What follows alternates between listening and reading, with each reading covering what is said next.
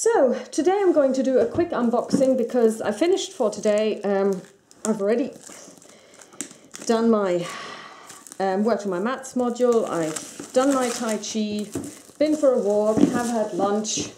So I'm going to take this game for a spin tonight. I'm not going to do a playthrough because um, I'm just going to play this for fun, but I'm going to do an unboxing. So this is Nations by Lautapelit Publishing, um, a game by Anna Rosén, Robert Rosén, Nina Håkansson and Rustan Håkansson. We have a rule book, full color, clocks in at 24 pages, but as you can see, plenty of illustrations as well. You have the um, nations sheet, so here we've got Egypt, um, two-sided, so there is a basic one and a special one. Greece, Rome, China, Persia. The uh, board where you keep track of the different um, statistics. You've got books, so lore, learning, um, stability, the war, um, counter, different types, um, how you can start the game, chieftain, prince, king, emperor, player order. Um, here you can place the, um, the number of architects that you get, the war, and here uh, is the track through um, time from antiquity up to industrial age. here you've got um, a couple of, oops, boards for chits. So um, you have these, these um, cards, I guess, down here are actually the solo AI. Um, a rule summary, uh, sorry, a round summary. Here you've got different, um, as you as you could possibly call it, the um, uh, the money that you use in in the game, the currency. Here you've got food. Um, you've got coal, so stone, or um, grain for food. These are victory points. And here you've got gold. Um, I don't know what this is for. It looks like a two wooden planks nailed together, some kind of cross thing. Um, more cards.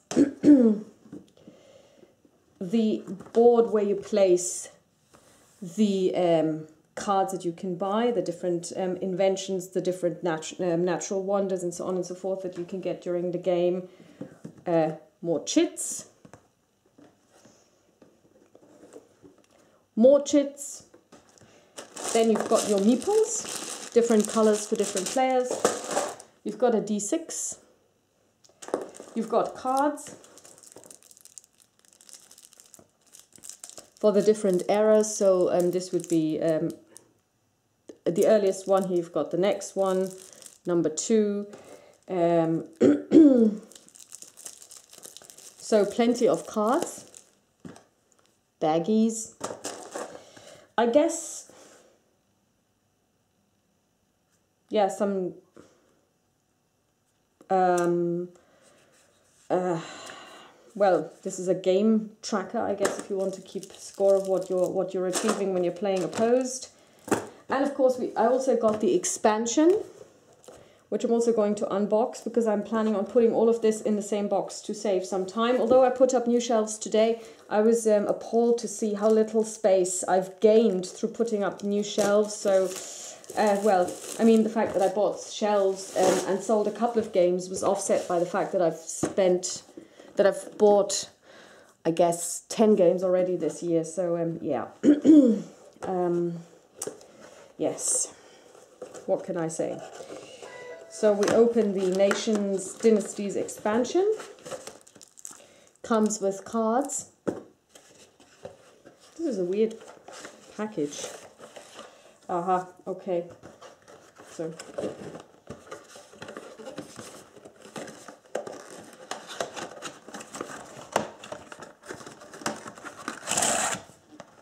Okay, so this is actually empty. And then it comes with this, which is also kind of empty, and it just basically bolsters up this. So this could have been sold differently. Here we've got the um, components overview and information about the new cards and the new uh, nations that you've got. You've got the Arabs, um, America, Korea. And these are only the special ones. So basically, this is something that has been pointed out before. that um, whereas these, the basic game, the base game is double sided. So this would be Persia general and this would be Persia special. Um,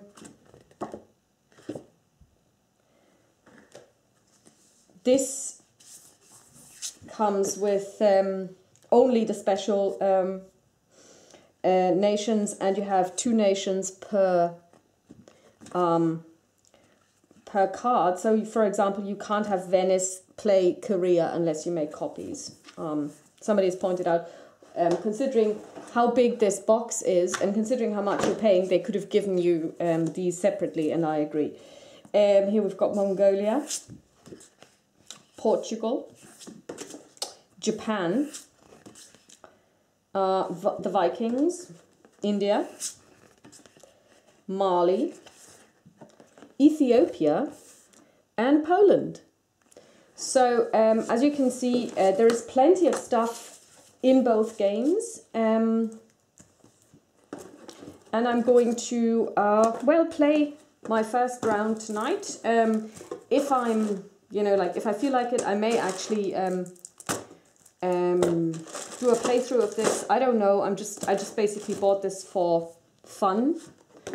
Um, and it's also probably a game that most uh, people watching this channel will not be that interested in because it's a, it's a heavy euro and basically it's um, worker placement and um, yeah probably watching this is much less entertaining than watching um, uh, for example eldritch horror or of course a war game um, where there's action. So um, yeah so that's all for today. I'm going to punch these i'm going to read the rules and then i'm going to have some fun tonight. Talk to you soon. Bye bye